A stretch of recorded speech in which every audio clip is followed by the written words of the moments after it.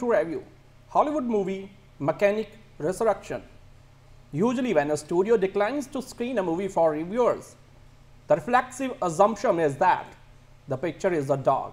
This largely turns out to be true, but not always. As for Mechanic Resurrection, the disinclination of Lionsgate to present it to viewers was a little puzzling in a different respect. Sure, the 2011 film The Mechanic, a Jason Statham, Ben Foster starring remake of the 1972, Charles Bronson, Jan Michael Vincent, master hitman thriller only got a 53% rating on Rotten Tomatoes, but I thought it was pretty okay. And that's all that counts.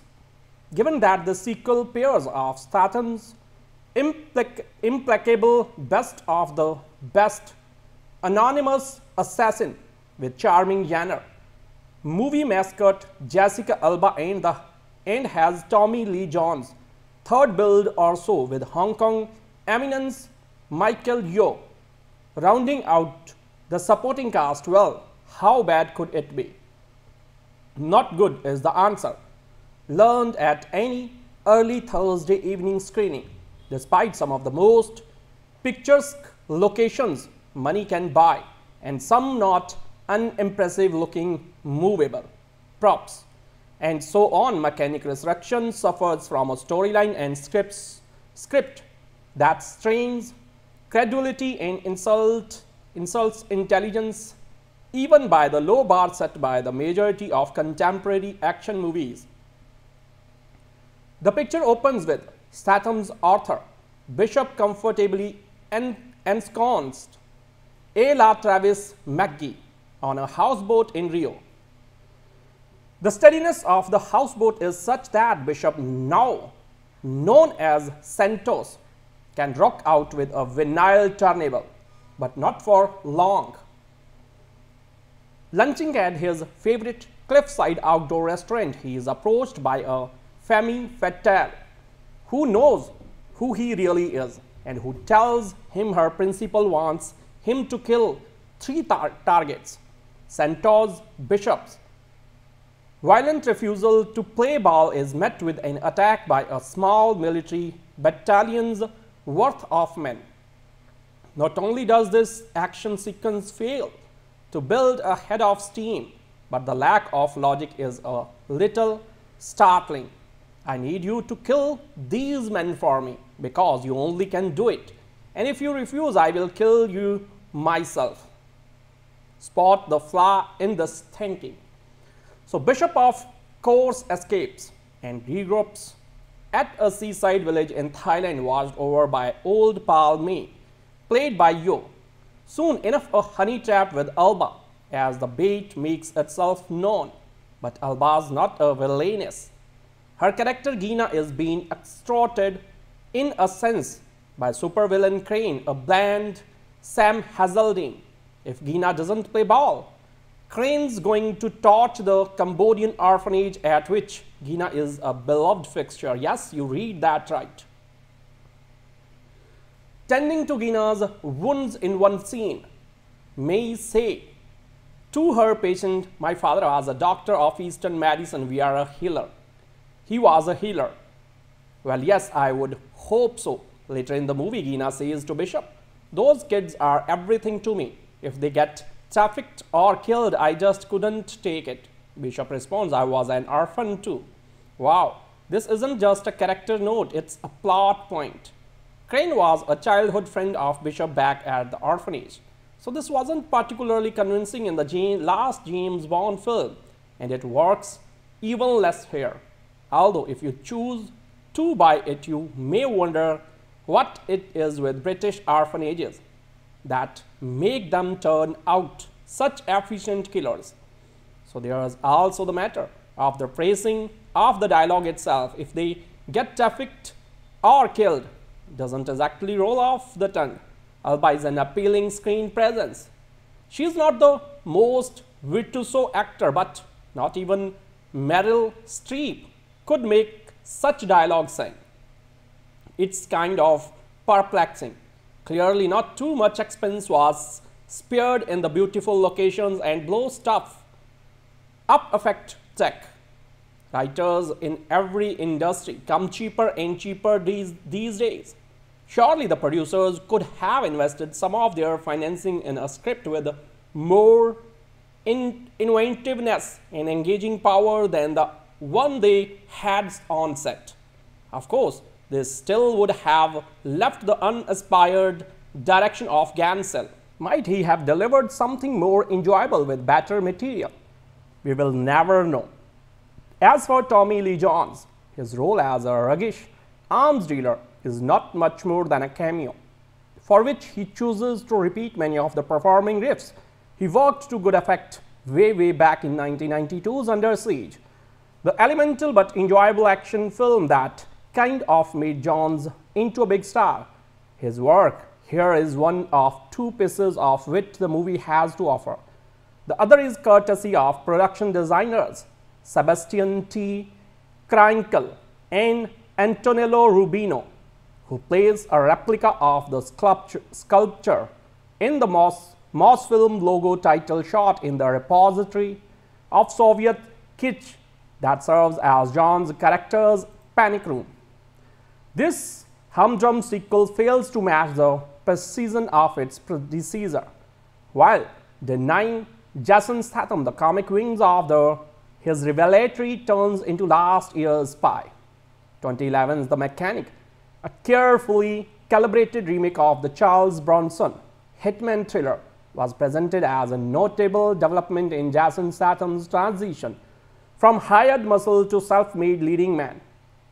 This humdrum spot of repeat business ditches the definite article and with it much of the precision and gravity.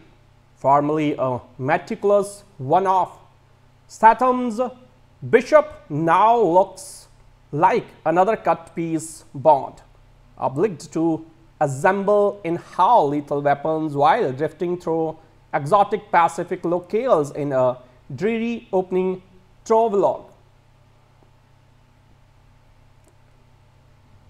So matters pick up with the three hits Bishop undertakes to rescue bikini-clad aid worker Jessica Alba.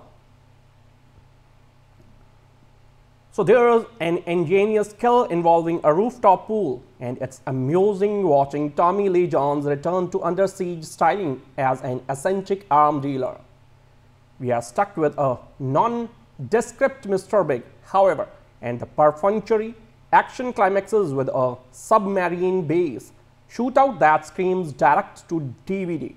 The Statham, alas, is following orders throughout. Given his revelatory comic turn in last year's Spy, he may yet turn to material that allow, allows him to raise smiles and smash heads. But this sluggish afterthought isn't it. At the start of Mechanic Resurrection, the hitman Arthur Bishop certainly isn't mourning his dead prestige from the mechanic. So no, he is just hanging out in a flat digital backdrop of Rio de Janeiro, trying to forget his blood-spattered resume. But for Bishop, there is no escape. When his old archenemy, the scheming businessman Crane, abducts Bishop's new love Gina, Bishop is coerced into resuming his form former trade. He must deliver three kills for Crane in his signature style making the assassinations appear to be accident. And Bishop is off on a travelogue to a tropical prison to bump off an African warlord, Sydney, Australia to nail a human trafficker, and Bulgaria to hunt an arms dealer. In Thailand, we meet Bishop's friend, the innkeeper Mei. Events conclude with a bloodbath on a yacht, complete with the time-honored ticking explosive and nod to the first Statham mechanic. The German director Dennis Gansel, making his Hollywood debut, lacks the glossy flair of earlier Statham directors like Mr. West and Louis Leterrier.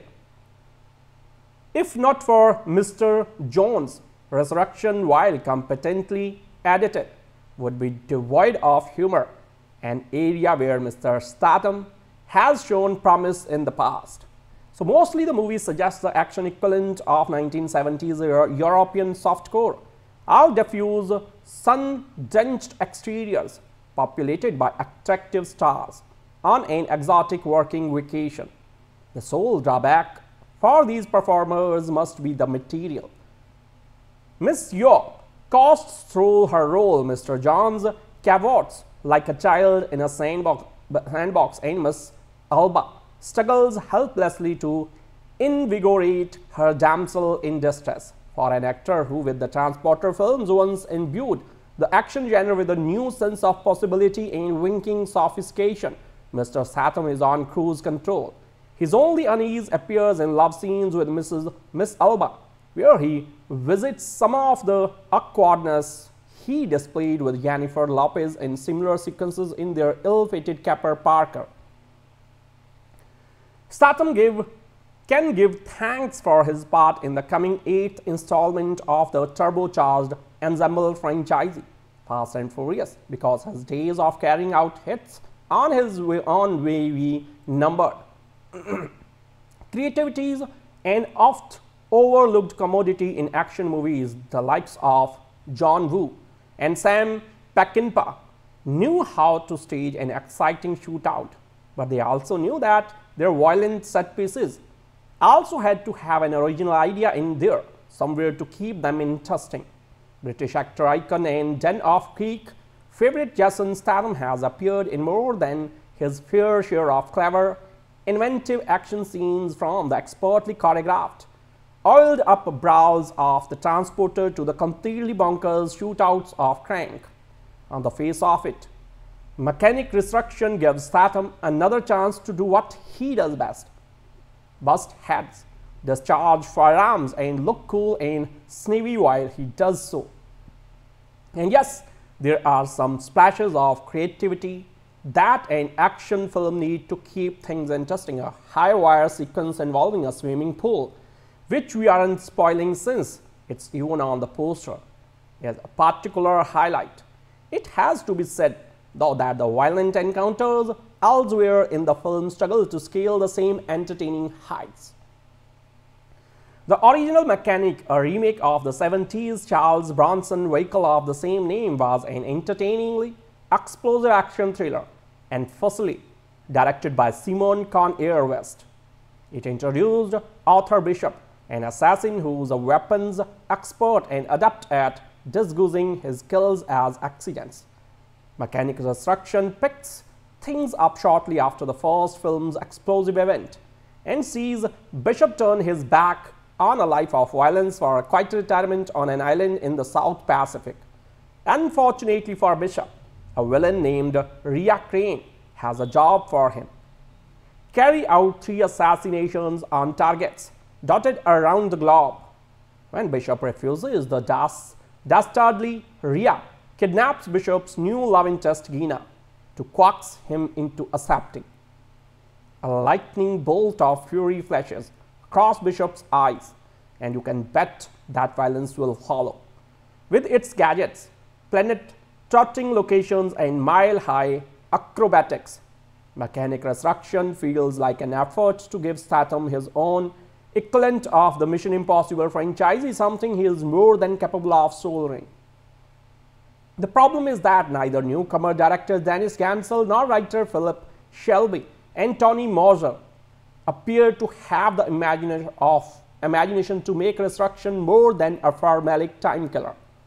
One or two major set pieces aside, the action in Resurrection is all fairly rote. Statham's brilliant at this kind of thing, yet the gunplay and fist fightings fights march to such a predictable rhythm that an overwhelming scene overwhelming sense of familiarity sets in before the first half hours ticked by.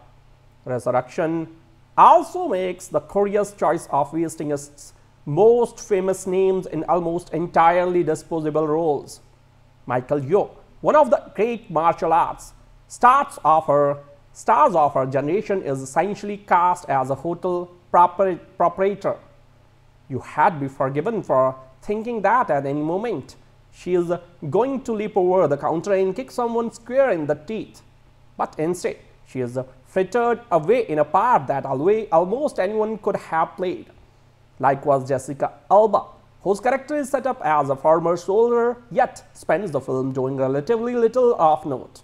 And then there's Tommy Lee Jones, who shows up in pajamas and a pair of slippers and grumbles his way through the role of an eccentric arms dealer. Jones would have made more sense as the villain, but we are guessing the movie's budget would only stretch to having the veteran actors around for a day or two. So instead, we are left with an underwritten, painfully listless villain whose defining characteristics is that he owns a yacht. The presence of such a generic antagonist, all starring eyes and hissed put downs, pretty much sums up the problem with mechanic resurrection. It's not incompetently uh, made, but it doesn't have the grit, sense of fun or sheer madness of the best Statham joints. It's by no means the action star's worst film in the name of the king, a Dungeon Siege tale would be your humble writer's personal choice, but it's far from his best. The mighty Statham arguably deserves a more creative caliber of action movie. My Mechanic Resurrection isn't unique, but it's a something of a rarity in that it is a sequel to remake. While they do happen, they usually happen for a good reason. But what the reason is here, I am not quite sure. Certainly, the mechanic Redux that Jason Statham headlined in 2011 was an enjoyable enough action romp, but it's it doesn't exactly have audiences crying out for more. They come get more of the same from most of the, his movies anyway. Regardless, here we are in 2016 with the return of Arthur Bishop. Whether you wanted it or not, we catch up with Bishop in Rio. He is living a new life under a new identity and believes he has put his murderous former life behind him someone from his past, hell-bent on dragging him or out of retirement, kidnaps the new lady in his life, and the only way to ensure her safety and her freedom is for Bishop to carry out three calls for him. So let's with no choice. Bishop has to travel the globe, complete the seemingly impossible assassinations, and do what he does best, make them look like accidents despite Statham either knocking boots, kicking butt or carefully planning how to kick butt for most the film's 98 minutes. Mechanic Resurrection is nowhere near his best or engaging work, but that's not his fault. The whole film feels much cheaper, less stylish and less engaging than the previous movie and despite flourishes of creativity, much flatter. There are moments that do lift the film above the average to adequate, but that's about as good as it gets, and that's not good enough.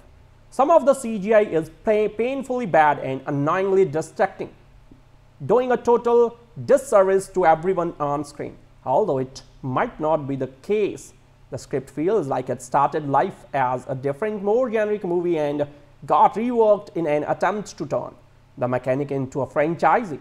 However, instead of going anywhere near to achieving that, the only thing is succeeding in doing is killing that plan stone dead. Among many other things, the direction and flair of the mechanic director Simon West are sorely missed her leaving the movie to trundle along when it should be powering forward fueled by adrenaline. At times, uh, mechanic resurrection feels more like mediocre state to DVD affair from the late 90s or 20s, early 20s. Then something that belongs in a multiplex. The script is laden. The villain is thin and clutched. Some of the performances are of so off and lackluster that they feel like perhaps they are being forced to perform Jessica Alba and Tommy Lee Jones. What were you thinking if the press notes. One of the few quotes from Jones is about him getting to wear some pretty cool glasses and shirts. So that gives you an idea where we are at with the, this film. Whether you look down on them or you slap them up. Jason Statham movies usually deliver what they promise, sadly. This one doesn't. Statham makes a great action hero and he is fun to watch. He deserves much better than this and so does the audience. Michael Resurrection lets him and itself down. Underserved in almost every single way, from script to direction and everything in between, Jason Statham deserves better than Mechanic Resurrection. He is one of the few things that still work here. And he saves it from being a local waste of time. Not the worst film you will see this year, but sadly this is one of one for the Statham completist, completist only. The thing about action films like mechanical destruction is that they function in an extraordinary moral vacuum. Professional assassin Arthur Bishop is assigned three hit jobs. He is to kill selected individuals across the world and make them look like accidents. However, in this process, he murders at least a few dozen people who come in the way. Despite this, the movie is intent on presenting him as a homicide artist, a mechanic who is so meticulous he leaves little traces of his method. He is provided with a motivational motivation to kill, a love interest who has been kidnapped and for whose survival and rescue he has to do all this. It doesn't matter one jot that the love of his life is a one night stand. He helps Gina escape from an abusive relationship, dances at a wedding with her, and takes her to bed. The next morning, he gives her to her a watch. It is a memento from his father, something that he has never parted with. This face tears symbol of his devotion is the most emotional moment in the clinical narrative of this film and in case it has escaped our notice Riah Crane, the man who assigns Bishop these hit jobs, point it out to Gina. You would expect her to burst into tears at the revelation of this sentimental aspect of his character.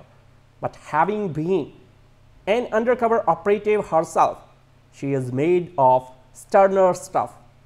Mechanic Resurrection is entirely without remorse. It has not a single second of reflection when the protagonist might pause before a senseless spree of killing. It exists entirely for the moment of action. There is no doubt that the murders are executed with precision and timing, like a gymnast intent on achieving a perfect 10. Bishop pivots from one impossible angle of certainty to another as he eliminates a dozen men in sonorous sequence. At the end of this symphony of violence, you are expected to willingly suspend your human empathy and applaud. Each of the assassinations he is assigned are theoretically impossible both in terms of execution and in the chance, chances of escape from the assassin. So in the modern world, as Crane regretfully tells Bishop while briefing him about these jobs, there is no privacy. No human being can escape the technology of a nation state tracking him. No crime can be committed without photographic and cyber evidence. For a moment, you think he is talking about Julian Assange and Edward Snowden until you realize that it is just a laconically expressed epitaph and farewell handed out to a former colleague. However, one killing of a millionaire child trafficker in Sydney is a true work of accidental death at high art. A swimming pool high up in a skyscraper, designed in post-modern style, suddenly develops a leak and the entire structure collapses with the swimmer still in it. This is the only one where there is just one death. Unfortunately, all the other murders have too cynical a view of collateral damage in targeted killings. So though the film has high production values and some stunning locations, it is disappointing in the way it deletes all characters and emotions from murder and mayhem. You are different. So says an old colleague who, ha who hasn't seen Arthur Bishop, the mission improbable hitman in Mechanic Resurrection for a long time. Older, he replies, coming out and stating the obvious. In fact, Jason Statham doesn't merely look older than he did when he last played Arthur Bishop in the 21 thriller The Mechanic. He looks leaner and meaner, more squinty with resolve, more brutality, and methodically sociopathic.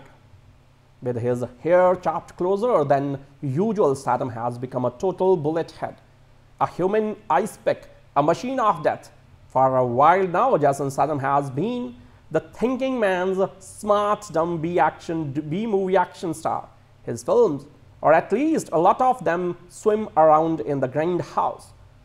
Muck of Bloodsport and Revenge and a genre that has spawned such brooding blocks of wood as Steven Seagal and Chuck Norris, but Statham, unlike most action pulp icons, is a genuine, genuine actor with a darting intelligence and finesse.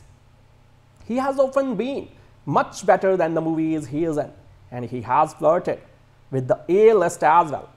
It's seriously doubtful that an action star pushing 15, 50 would be considered for the role of James Bond, but it would be fascinating to see that Statham could do with it. The closest the closest he has probably come in the character of Arthur Bishop, assassin for hire, whose signature is what that he kills and makes it all look like an accident. It's his way of leaving no traces five years ago. In The Mechanic, Bishop obtained a new Pratik, but the movie loosely based on the 1972 Charles Bronson film was ludicrous, a series of overwrought daredevil stunts and situations. It was too much over the top action and with not enough plausibility.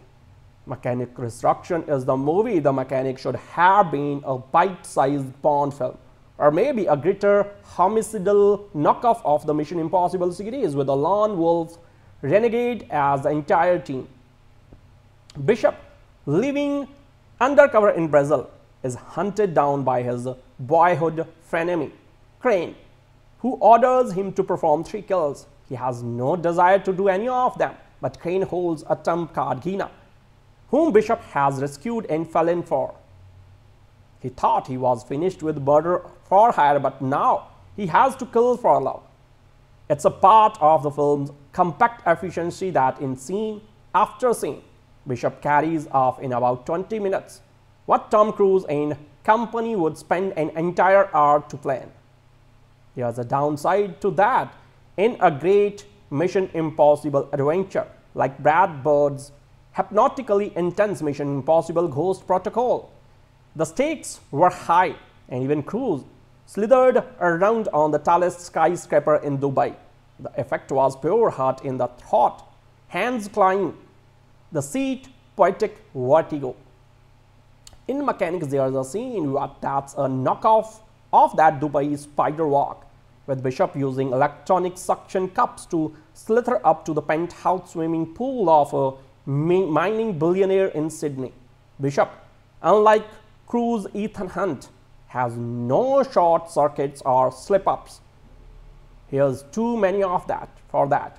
He swings around on his harness, then drills a hole in the pool's glass bottom and inserts a tiny cone which gets injected with fluid until it cracks the glass. The villain falls right through. So it's an impeccable as a physics equation. The result is one kill of a really, really bad guy. But the spirit is that of a heist thriller. It is all in every sense perfectly executed. Everything else Bishop does is just as pinpoint. His first target is an Afri African warlord who has barricaded himself inside an Alcatraz-like prison fortress. fortress. Bishop gets himself arrested and placed in the prison, then arranged to save the warlord's life as a way of getting invited to dinner. So it's all staged by director Dennis Gansel with enough connect the dots ingenuity to spin you right past your disbelief or at least to make an unenjoyable to make an enjoyable wink at it. Then Tommy Lee Jones shows up wearing the wardrobe of an Eurotrash playboy as a weapons dealer with a circular layer that evokes the one in on Her Majesty's Secret Service. Jones phones in this, his performance but classes up the proceedings.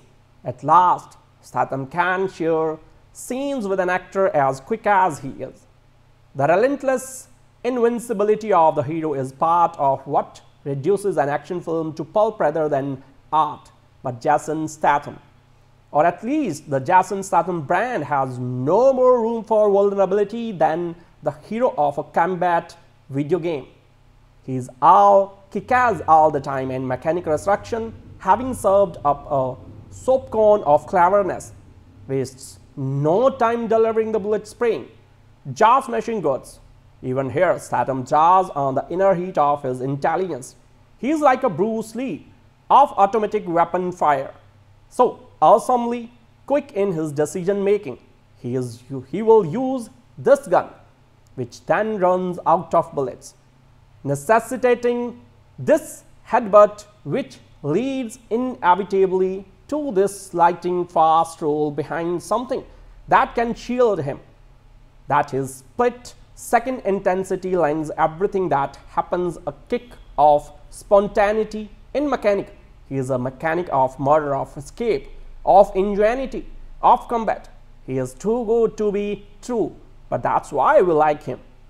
It would be nice to see Statham make a movie one day that's accomplished enough to raise his game. Until that happens, Mechanical Resurrection will do. Usually when a studio declines to screen a movie for reviewers, the reflexive assumption is that the picture is a dog. This largely turns out to be true, but not always. As for mechanic resurrection, the disinclination of Lionsgate to present it to viewers was a little puzzling in a different respect. Sure, the 2011 film The Mechanic, a Jason Statham, Ben Foster starring remake of the 1972, Charles Bronson Jan Michael Vincent, Master Hitman Thriller only got a 53% rating on Rotten Tomatoes, but I thought it was pretty okay. And that's all that counts. Given that the sequel pairs of Statham's implac implacable best of the best anonymous assassin with charming Yanner, movie mascot Jessica Alba and the and has Tommy Lee Jones, third build or so with Hong Kong eminence Michelle Yeoh. Rounding out the supporting cast well, how bad could it be? Not good is the answer. Learned at any early Thursday evening screening, despite some of the most picturesque locations money can buy and some not unimpressive looking movable props and so on mechanic resurrection suffers from a storyline and scripts script that strains credulity and insult insults intelligence even by the low bar set by the majority of contemporary action movies.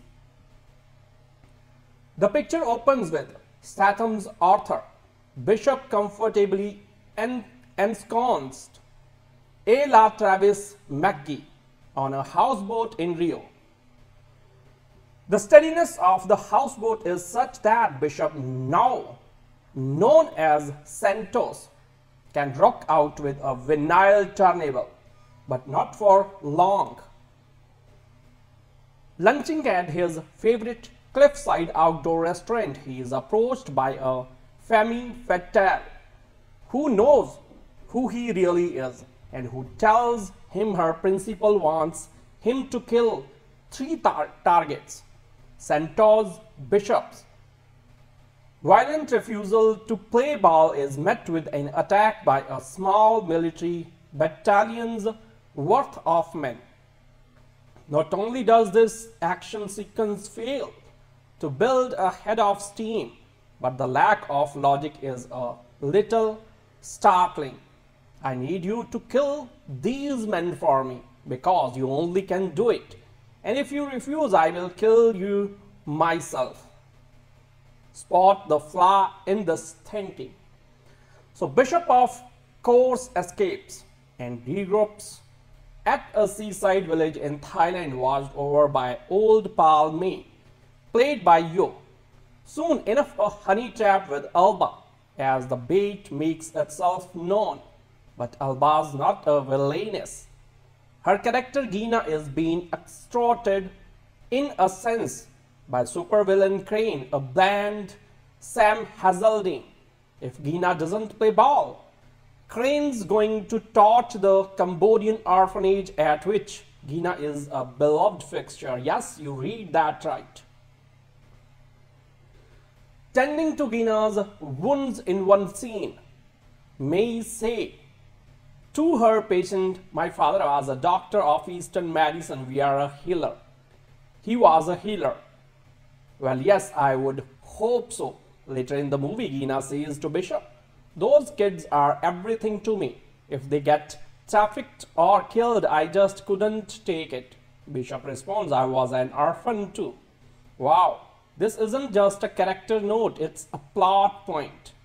Crane was a childhood friend of Bishop back at the orphanage. So this wasn't particularly convincing in the last James Bond film, and it works even less here. Although if you choose to buy it, you may wonder what it is with British orphanages that make them turn out such efficient killers. So there is also the matter of the phrasing of the dialogue itself. If they get trafficked or killed, doesn't exactly roll off the tongue. Alba is an appealing screen presence. She is not the most virtuoso actor, but not even Meryl Streep could make such dialogue sing. It's kind of perplexing. Clearly not too much expense was spared in the beautiful locations and blow stuff up effect tech. Writers in every industry come cheaper and cheaper these, these days. Surely the producers could have invested some of their financing in a script with more in inventiveness and engaging power than the one they had on set.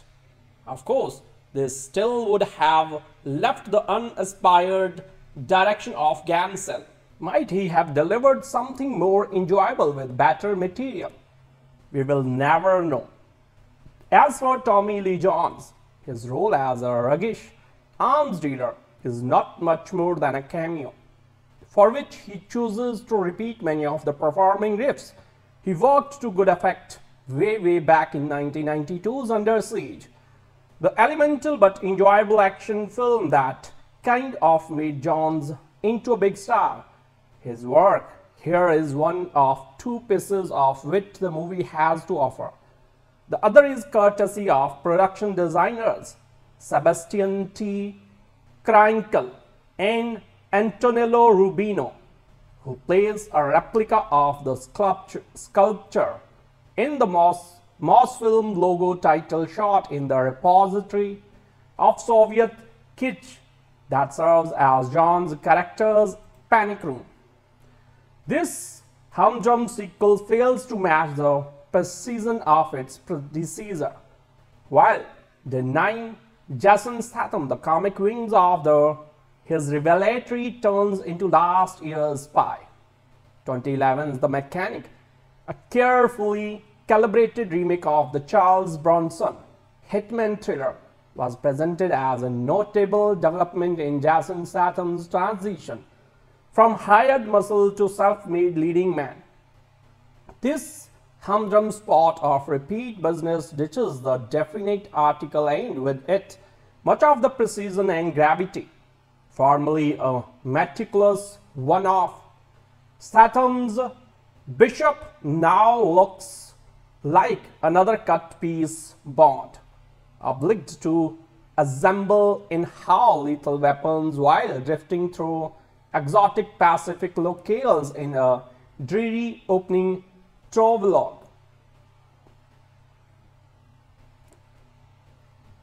So matters pick up with the three hits Bishop undertakes to rescue bikini-clad aid worker Jessica Alba.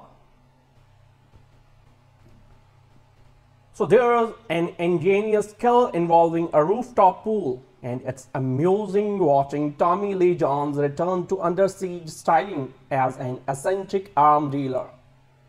We are stuck with a non-descript Mr. Big, however, and the perfunctory action climaxes with a submarine base shootout that screams direct to DVD. The Statham, alas, is following orders throughout. Given his revelatory comic turn in last year's Spy, he may yet turn to material that allow, allows him to raise smiles and smash heads. But this sluggish afterthought isn't it. At the start of Mechanic Resurrection, the hitman Arthur Bishop certainly isn't mourning his dead prestige from the mechanic. So no, he is just hanging out in a flat digital backdrop of Rio de Janeiro, trying to forget his blood-spattered resume.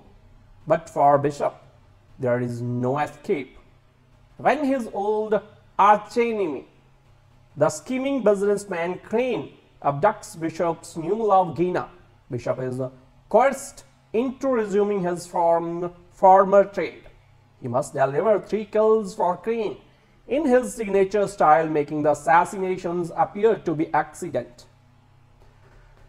And Bishop is off on a travelogue to a tropical prison to bump off an African warlord, Sydney, Australia to nail a human trafficker, and Bulgaria to hunt an arms dealer.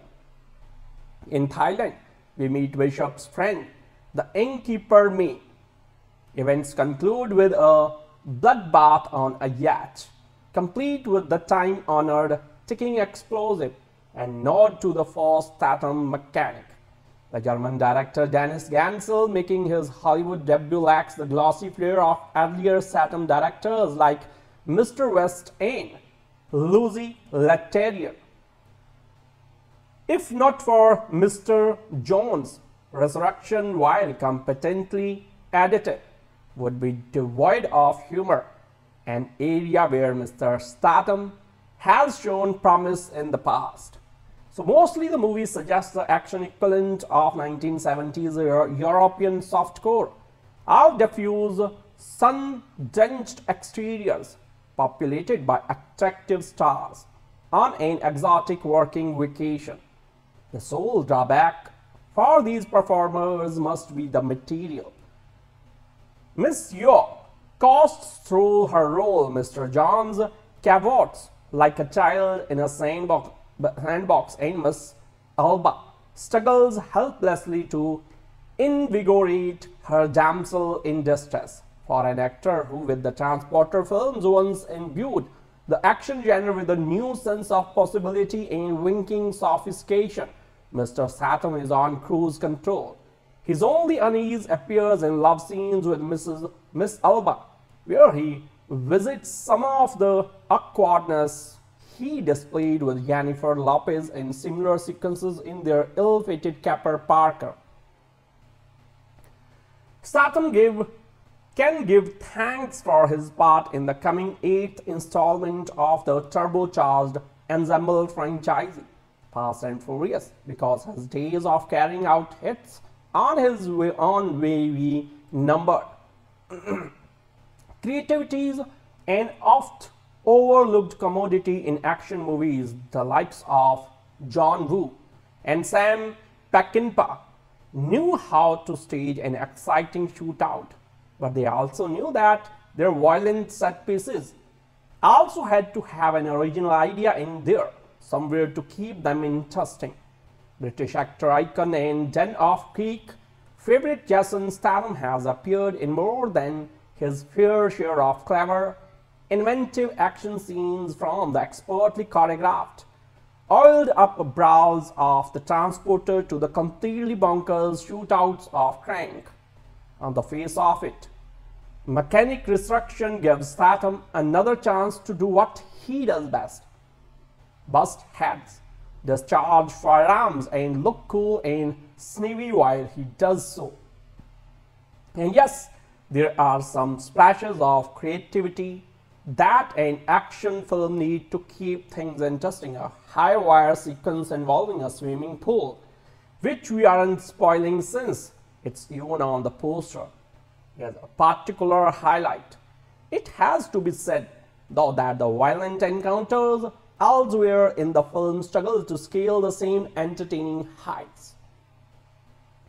The original Mechanic, a remake of the 70s Charles Bronson vehicle of the same name, was an entertainingly explosive action thriller and fussily directed by Simon Con-Air West.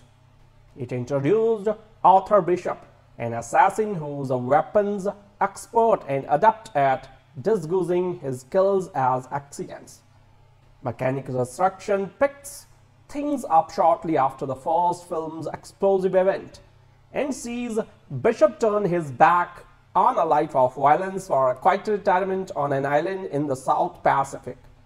Unfortunately for Bishop, a villain named Riah Crane has a job for him. Carry out three assassinations on targets dotted around the globe. When Bishop refuses, the das dastardly Riah kidnaps Bishop's new love interest Gina to coax him into accepting. A lightning bolt of fury flashes across Bishop's eyes, and you can bet that violence will follow. With its gadgets, planet trotting locations, and mile high acrobatics, Mechanic Resurrection feels like an effort to give Statham his own equivalent of the Mission Impossible franchise is something he is more than capable of solving. The problem is that neither newcomer director Dennis Gansel nor writer Philip Shelby and Tony Mosher appear to have the imagination of imagination to make Resurrection more than a formalic time killer.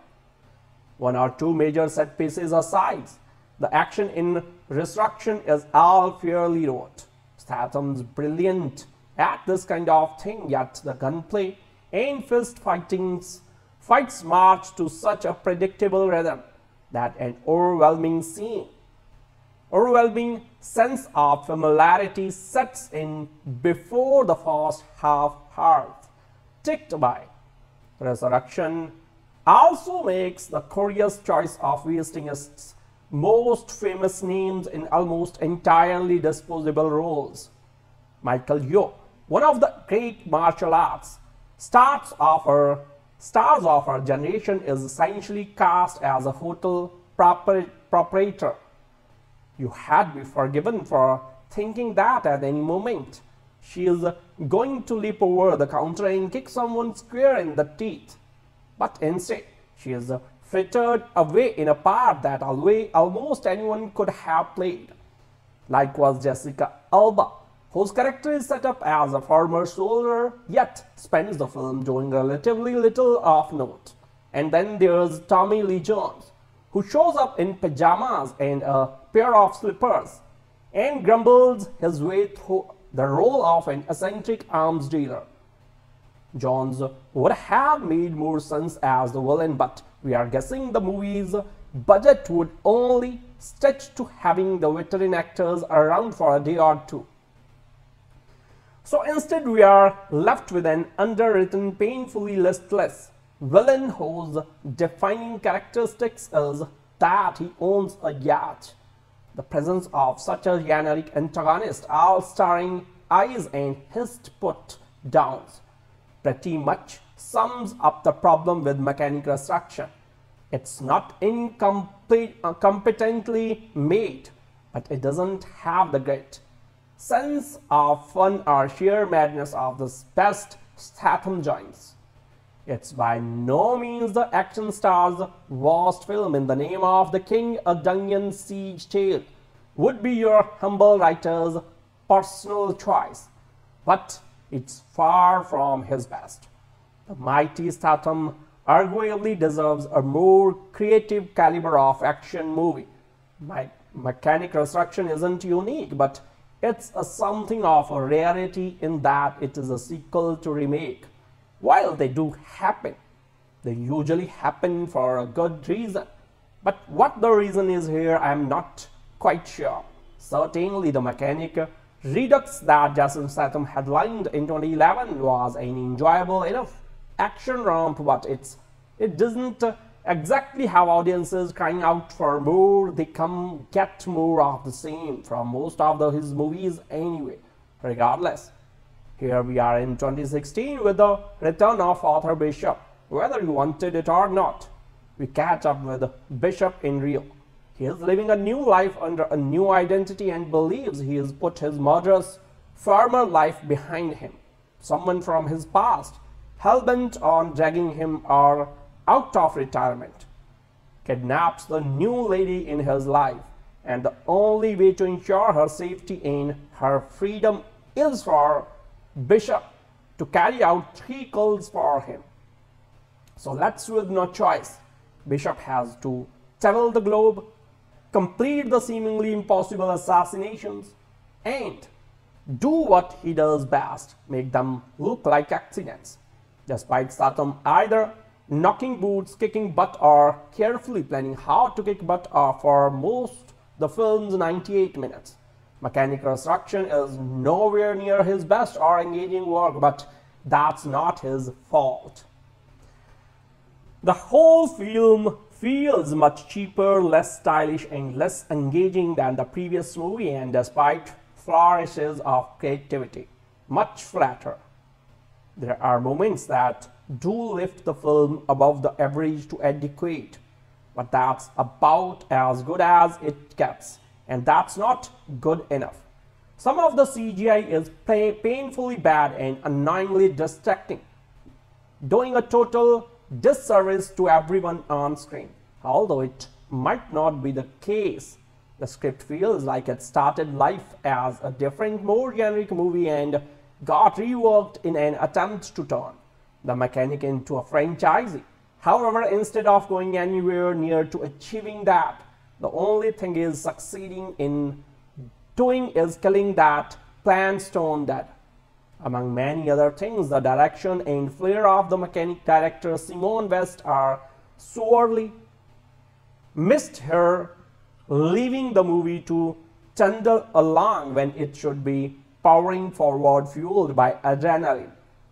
At times, Mechanic Resurrection feels more like mediocre state to DVD affair from the late 90s or 20s, early 20s. Then something that belongs in a multiplex. The script is Latin. The villain is thin and clutched. Some of the performances are of so off and lackluster that they feel like perhaps they are being forced to perform Jessica Alba and Tommy Lee Jones what were you thinking? In the press notes, one of the few quotes from Jones is about him getting to wear some pretty cool glasses and shorts. So that gives you an idea where we are at with the, this film. Whether you look down on them or you slap them up. Jason Statham movies usually deliver what they promise, sadly. This one doesn't. Statham makes a great action hero and he is fun to watch. He deserves much better than this and so does the audience. Michael Resurrection lets him and itself down. Underserved in almost every single way, from script to direction and everything in between, Jason Statham deserves better than Mechanic Resurrection. He is one of the few things that still work here. And he saves it from being a local waste of time. Not the worst film you will see this year, but sadly this is one of one for the Statham complete list, complete list only. The thing about action films like mechanical destruction is that they function in an extraordinary moral vacuum. Professional assassin Arthur Bishop is assigned three hit jobs he is to kill selected individuals across the world and make them look like accidents. However, in this process, he murders at least a few dozen people who come in the way. Despite this, the movie is intent on presenting him as a homicide artist, a mechanic, who is so meticulous he leaves little traces of his method. He is provided with a motivational motivation to kill a love interest who has been kidnapped and for whose survival and rescue he has to do all this. It doesn't matter one jot that the love of his life is a one night stand.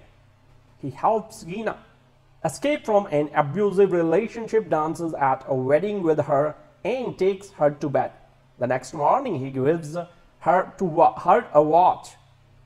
It is a memento from his father, something that he has never parted with. This face tears symbol of his devotion is the most emotional moment in the clinical narrative of this film and in case it has escaped our notice Riah Crane, the man who assigns Bishop these hit jobs, point it out to Gina. You would expect her to burst into tears at the revelation of this sentimental aspect of his character. But having been an undercover operative herself, she is made of sterner stuff. Mechanic Resurrection is entirely without remorse. It has not a single second of reflection when the protagonist might pause before a senseless spree of killing. It exists entirely for the moment of action. There is no doubt that the murders are executed with precision and timing, like a gymnast intent on achieving a perfect stand. Bishop pivots from one impossible angle of certainty to another as he eliminates a dozen men in sonorous sequence. At the end of this symphony of violence, you are expected to willingly suspend your human empathy and applaud. Each of the assassinations he is assigned are theoretically impossible both in terms of execution and in the chance, chances of escape from the assassin. So in the modern world, as Crane regretfully tells Bishop while briefing him about these jobs, there is no privacy. No human being can escape the technology of a nation state tracking him. No crime can be committed without photographic and cyber evidence. For a moment, you think he is talking about Julian Assange and Edward Snowden until you realize that it is just a laconically expressed epitaph and farewell handed out to a former colleague. However, one killing of a millionaire child trafficker in Sydney is a true work of accidental death at high art. A swimming pool high up in a skyscraper, designed in postmodern style, suddenly develops a leak and the entire structure collapses with the swimmer still in it. This is the only one where there is just one that. Unfortunately, all the other murders have too cynical a view of collateral damage in targeted killings. So though the film has high production values and some stunning locations, it is disappointing in the way it deletes all characters and emotions from murder and mayhem. You are different. So says an old colleague who, ha who hasn't seen Arthur Bishop, the mission improbable hitman in mechanic resurrection for a long time. Older, he replies, coming out and stating the obvious. In fact, Jason Statham doesn't merely look older than he did when he last played Arthur Bishop in the 21 thriller The Mechanic. He looks leaner and meaner, more squinty with resolve, more brutality, and methodically sociopathic with his hair chopped closer than usual, Statham has become a total bullet head, a human ice pick, a machine of death. For a while now, Jason Statham has been the thinking man's smart, dumb B-action, B-movie action star. His films, or at least a lot of them, swim around in the grindhouse. Muck of Bloodsport and Revenge and a genre that has spawned such brooding blocks of wood as Steven Seagal and Chuck Norris, but Statham, unlike most action pulp icons, is a genuine, genuine actor with a darting intelligence and finesse. He has often been much better than the movies he is in, and he has flirted with the A-list as well. It's seriously doubtful that an action star pushing 15 50 would be considered for the role of James Bond, but it would be fascinating to see that Statham could do with it. The closest, the closest he has probably come in the character of Arthur Bishop, assassin for hire, whose signature is what that he kills and makes it all look like an accident. It's his way of leaving no traces five years ago. In the mechanic Bishop trained a new Pratik, but the movie loosely based on the 1972 Charles Bronson film was ludicrous, a series of overwrought daredevil stunts and situations. It was too much over-the-top action and with not enough plausibility. Mechanic Resurrection is the movie the mechanic should have been a bite-sized Bond film or maybe a greater homicidal knockoff of the Mission Impossible series with the lone wolf renegade as the entire team. Bishop, living undercover in Brazil, is hunted down by his boyhood frenemy, Crane, who orders him to perform three kills. He has no desire to do any of them, but Crane holds a trump card Gina, whom Bishop has rescued and fallen for. He thought he was finished with murder for hire, but now he has to kill for love. It's a part of the film's compact efficiency that in scene after scene, Bishop carries off in about 20 minutes what Tom Cruise and company would spend an entire hour to plan. There's a downside to that. In a great Mission Impossible adventure like Brad Bird's hypnotically intense Mission Impossible Ghost Protocol. The stakes were high and even Cruise slithered around on the tallest skyscraper in Dubai. The effect was pure heart in the thought, hands flying, the seat poetic vertigo. In mechanics, there is a scene that's a uh, knockoff of that Dubai spider walk, with Bishop using electronic suction cups to slither up to the penthouse swimming pool of a mining billionaire in Sydney. Bishop, unlike Cruise Ethan Hunt, has no short circuits or slip-ups. Here's too many of that for that. He swings around on his harness, then drills a hole in the pool's glass bottom and inserts a tiny cone which gets injected with fluid until it cracks the glass. The villain falls right through. So it's an impeccable as a physics equation. The result is one kill of a really, really bad guy. But the spirit is that of a heist thriller. It is all in every sense perfectly executed.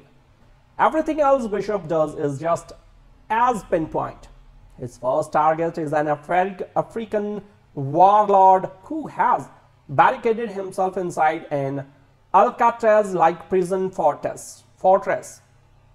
Bishop gets himself arrested and placed in the prison, then arranged to save the warlord's life as a way of getting invited to dinner. So it's all staged by director Dennis Gansel with enough connect the dots ingenuity to spin you right past your disbelief or at least to make an unenjoyable to make an enjoyable wink at it.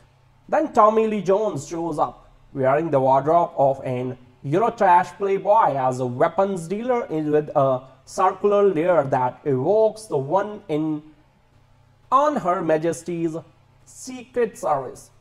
Jones phones in this his performance but classes up the proceedings. At last, Statham can share scenes with an actor as quick as he is. The relentless invincibility of the hero is part of what reduces an action film to pulp rather than art. But Jason Statham, or at least the Jason Statham brand has no more room for vulnerability than the hero of a combat video game. He's all kick-ass all the time and Mechanical Resurrection having served up a soap cone of cleverness, wastes no time delivering the bullet spring, jaw smashing goods, Even here, Statham draws on the inner heat of his intelligence. He's like a Bruce Lee of automatic weapon fire. So awesomely quick in his decision making. He, is, he will use this gun, which then runs out of bullets, necessitating this headbutt which leads inevitably to this lightning fast roll behind something that can shield him. That is split second intensity length everything that happens a kick of spontaneity in mechanic. He is a mechanic of murder, of escape, of ingenuity, of combat. He is too good to be true, but that's why we like him. It would be nice to see Statham make a movie one day that's accomplished enough to raise his game. Until that happens, Mechanical Resurrection will do. Usually when a studio declines to screen a movie for reviewers, the reflexive assumption is that the picture is a dog. This largely turns out to be true, but not always. As for Mechanic Resurrection, the disinclination of Lionsgate to present it to viewers was a little puzzling in a different respect.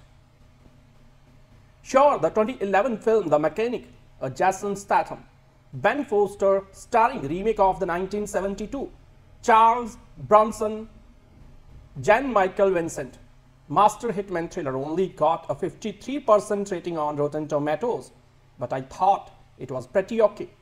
And that's all that counts given that the sequel pairs of Statham's implac implacable best of the best anonymous assassin with charming Yanner, movie mascot Jessica Alba and, the, and has Tommy Lee Jones, third build or so with Hong Kong eminence Michelle Yeoh, rounding out the supporting cast well, how bad could it be?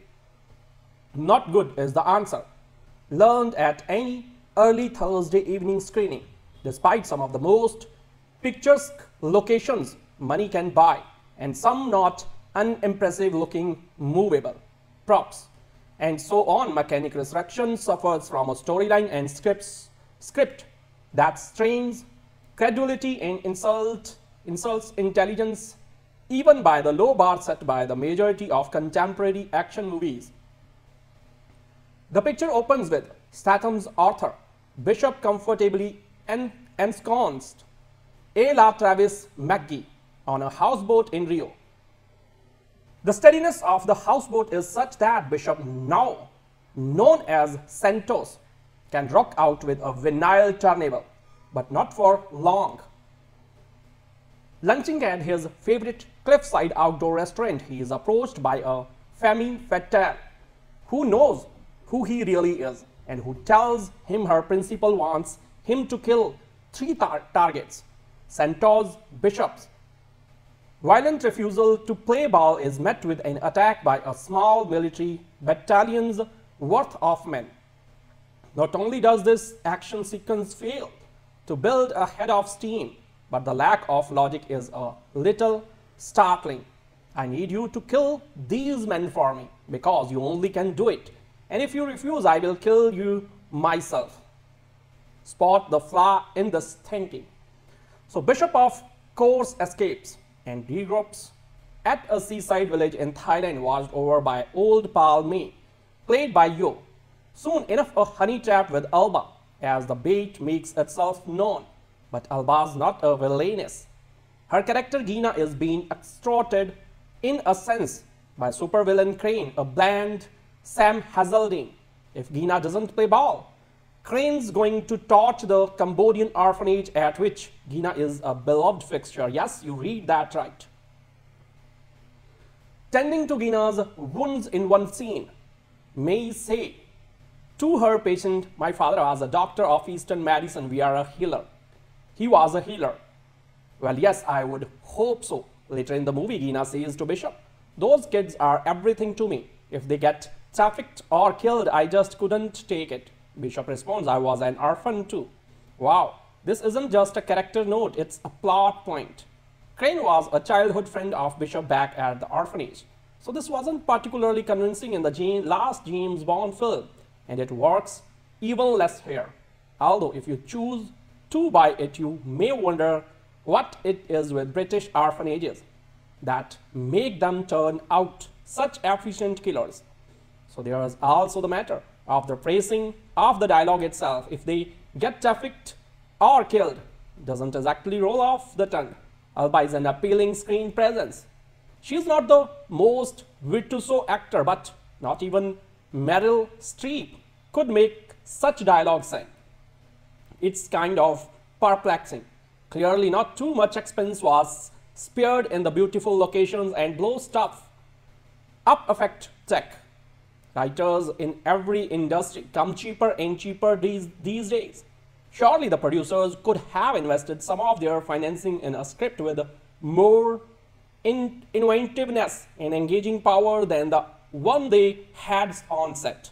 Of course, this still would have left the unaspired direction of Gansel. Might he have delivered something more enjoyable with better material?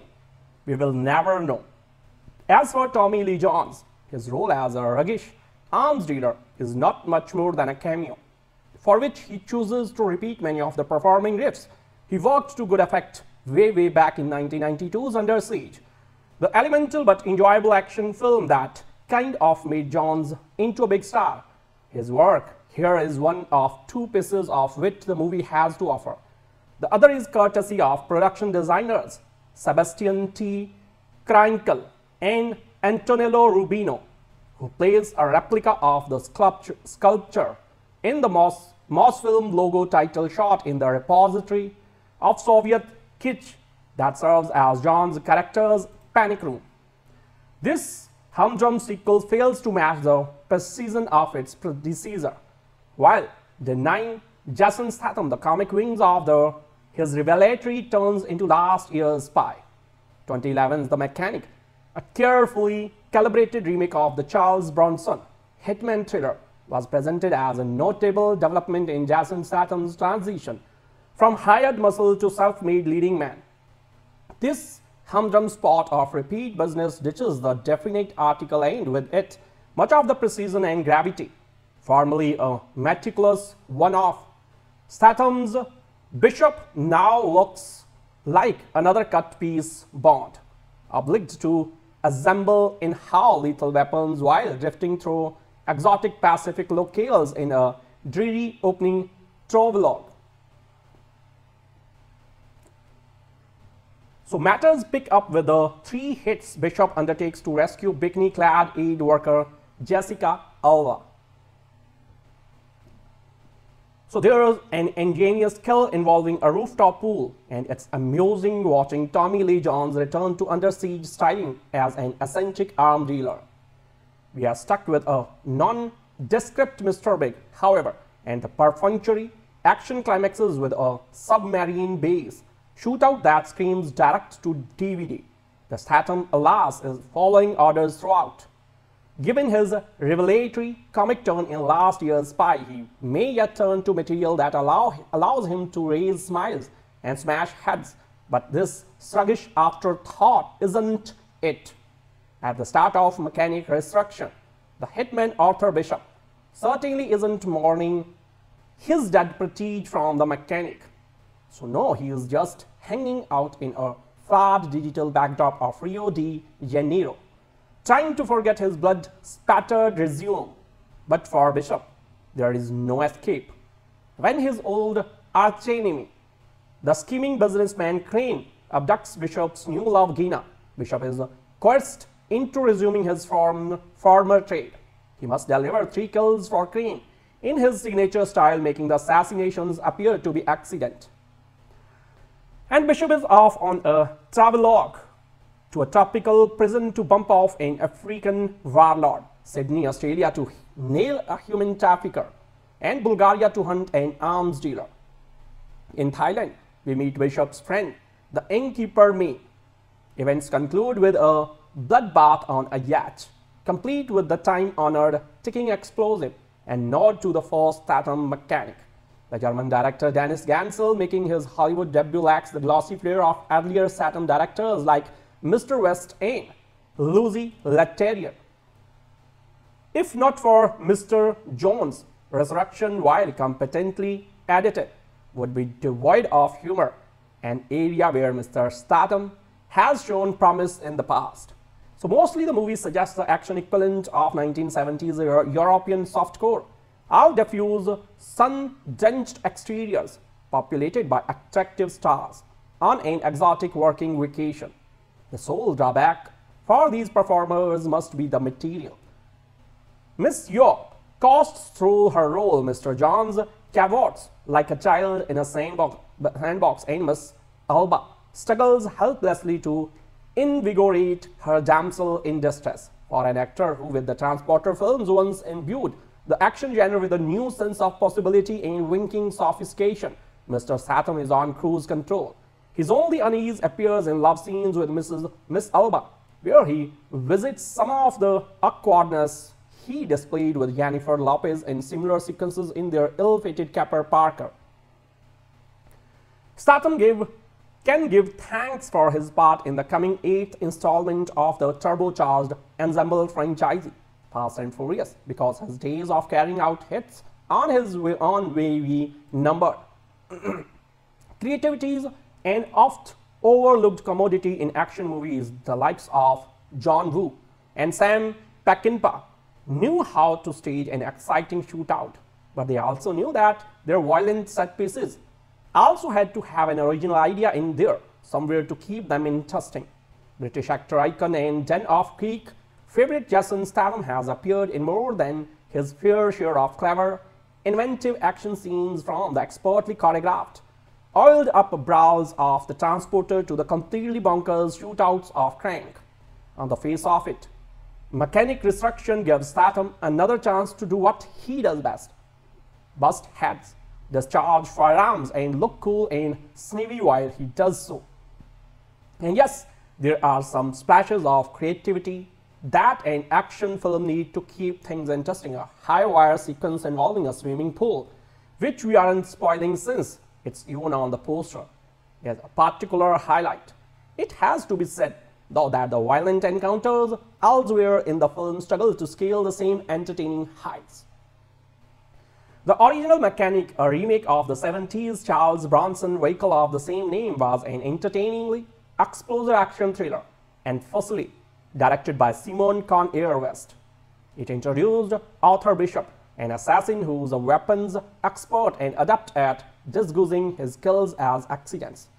Mechanic Destruction picks things up shortly after the first film's explosive event and sees Bishop turn his back on a life of violence for a quiet retirement on an island in the South Pacific. Unfortunately for Bishop, a villain named Riah Crane has a job for him. Carry out three assassinations on targets dotted around the globe.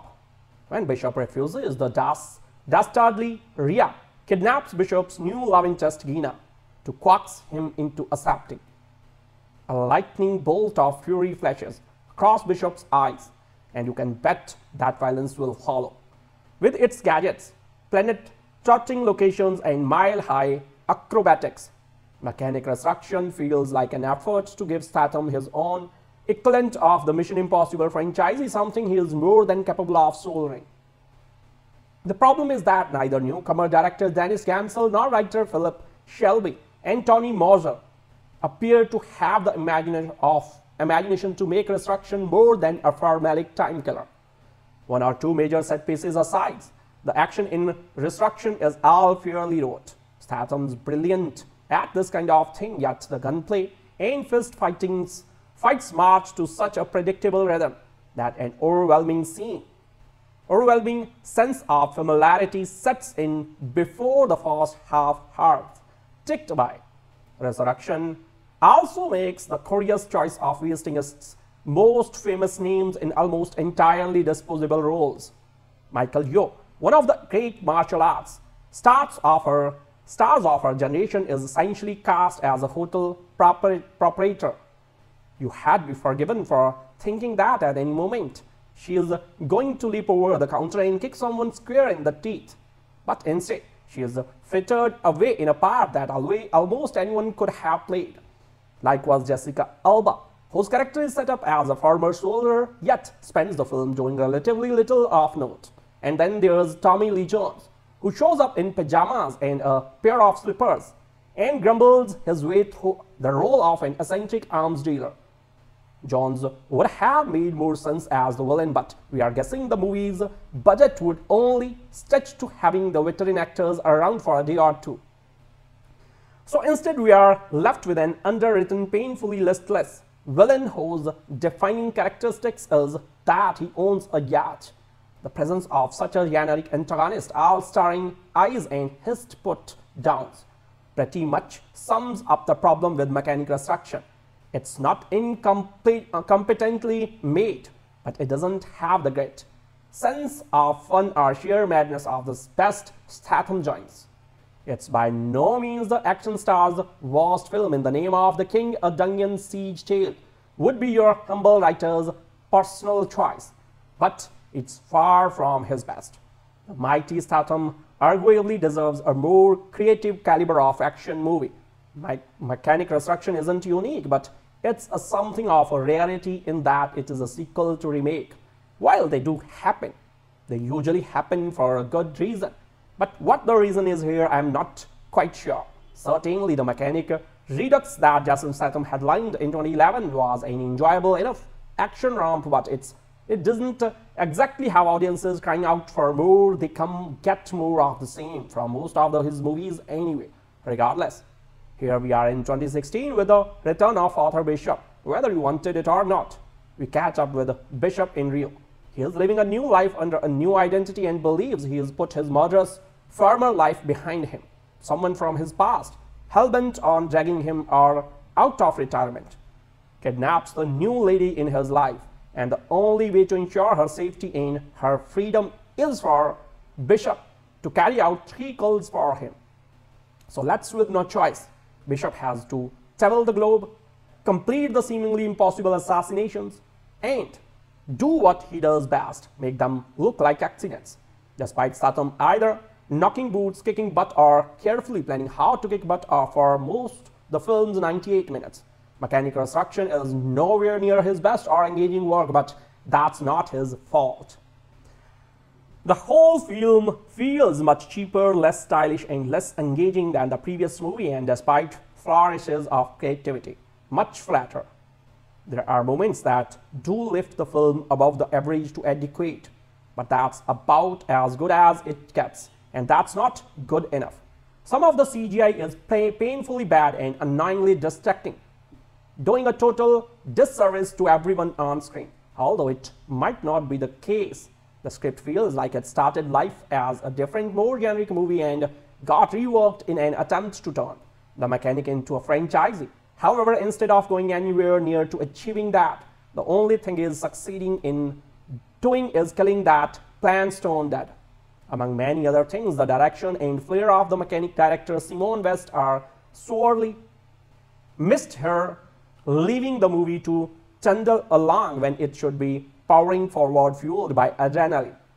At times, mechanic resurrection feels more like mediocre state to DVD affair from the late 90s or 20s, early 20s. Then something that belongs in a multiplex. The script is laden. The villain is thin and clutched. Some of the performances are off, so off and lackluster that they feel like perhaps they are being forced to perform Jessica Alba and Tommy Lee Jones what were you thinking? In the press notes, one of the few quotes from Jones is about him getting to wear some pretty cool glasses and shirts. So that gives you an idea where we are at with the, this film. Whether you look down on them or you slap them up. Jason Statham movies usually deliver what they promise. Sadly, this one doesn't. Statham makes a great action hero and he is fun to watch. He deserves much better than this and so does the audience.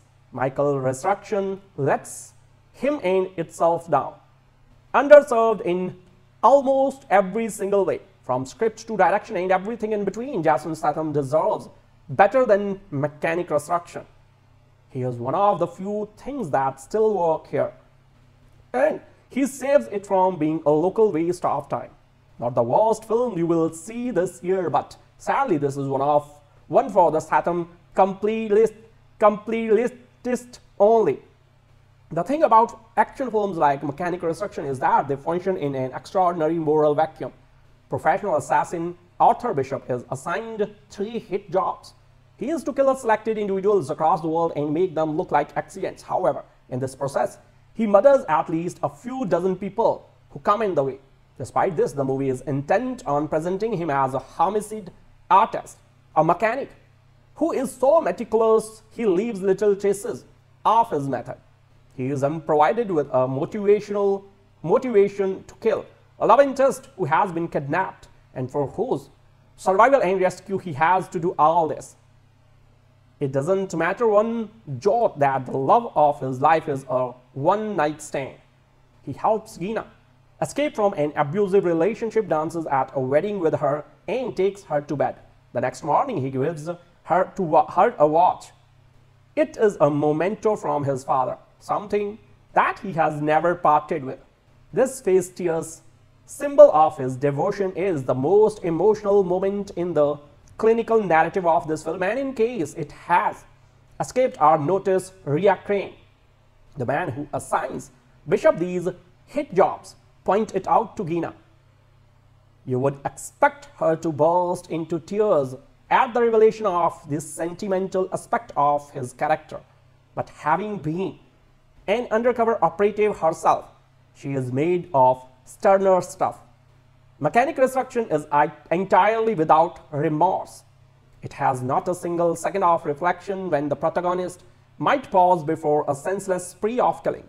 It exists entirely for the moment of action. There is no doubt that the murders are executed with precision and timing, like a gymnast intent on achieving a perfect 10. Bishop pivots from one impossible angle of certainty to another as he eliminates a dozen men in sonorous sequence. At the end of this symphony of violence, you are expected to willingly suspend your human empathy and applaud. Each of the assassinations he is assigned are theoretically impossible both in terms of execution and in the chance, chances of escape from the assassin. So in the modern world, as Crane regretfully tells Bishop while briefing him about these jobs, there is no privacy. No human being can escape the technology of a nation state tracking him. No crime can be committed without photographic and cyber evidence. For a moment, you think he is talking about Julian Assange and Edward Snowden until you realize that it is just a laconically expressed epitaph and farewell handed out to a former colleague. However, one killing of a millionaire child trafficker in Sydney is a true work of accidental death at high art. A swimming pool high up in a skyscraper, designed in post-modern style, suddenly develops a leak and the entire structure collapses with the swimmer still in it. This is the only one where there is just one that. Unfortunately, all the other murders have too cynical a view of collateral damage in targeted killings. So though the film has high production values and some stunning locations, it is disappointing in the way it deletes all characters and emotions from murder and mayhem. You are different. So says an old colleague who, ha who hasn't seen Arthur Bishop, the mission improbable hitman in Mechanic Resurrection for a long time. Older, he replies, coming out and stating the obvious. In fact, Jason Statham doesn't merely look older than he did when he last played Arthur Bishop in the 21 thriller The Mechanic.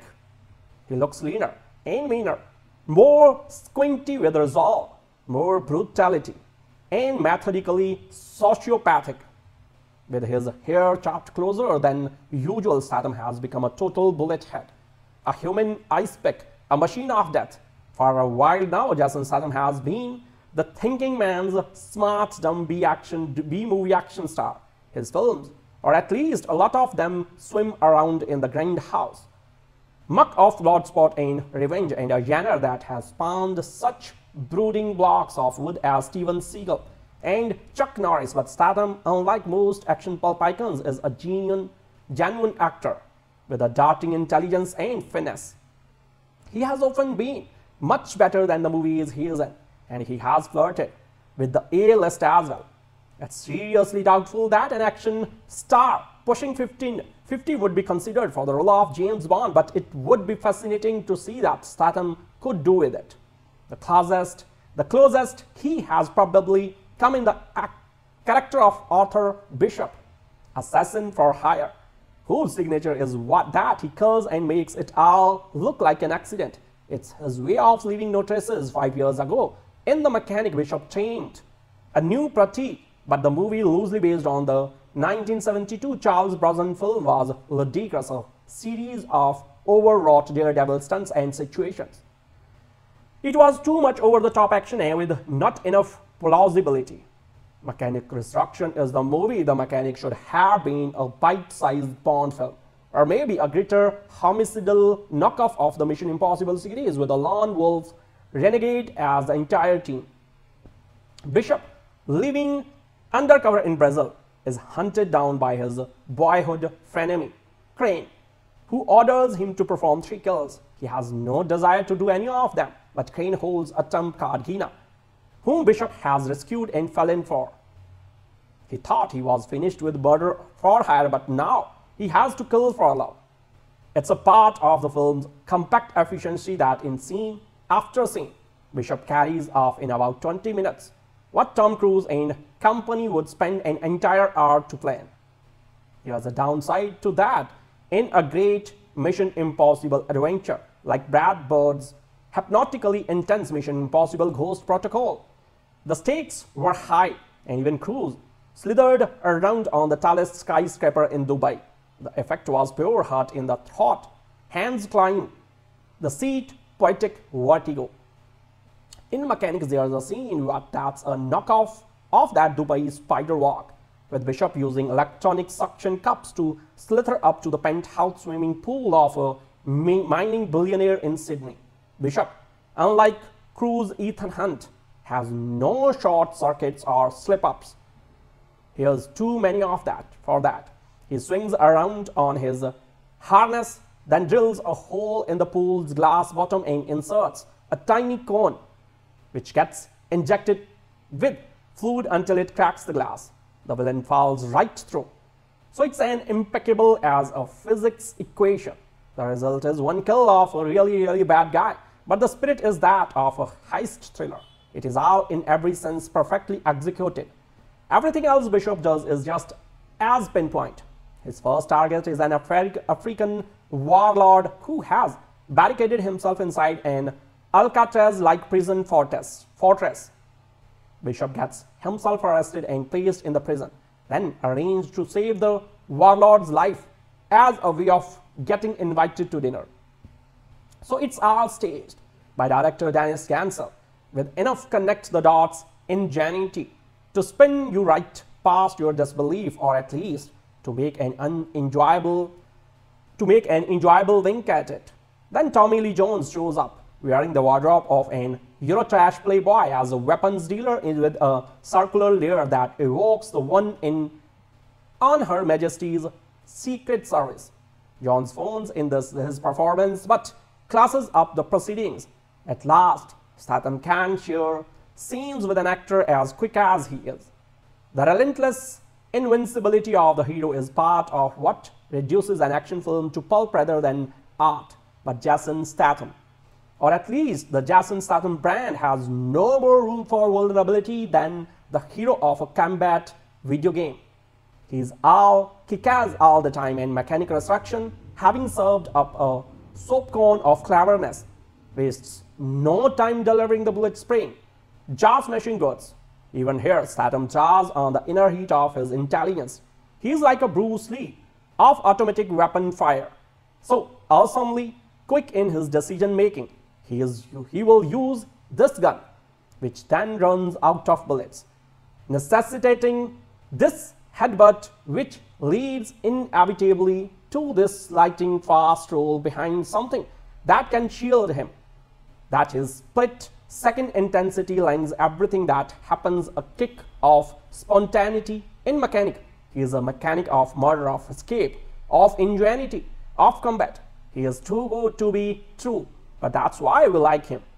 It would be nice to see Statham make a movie one day that's accomplished enough to raise his game. Until that happens, Mechanical Resurrection will do.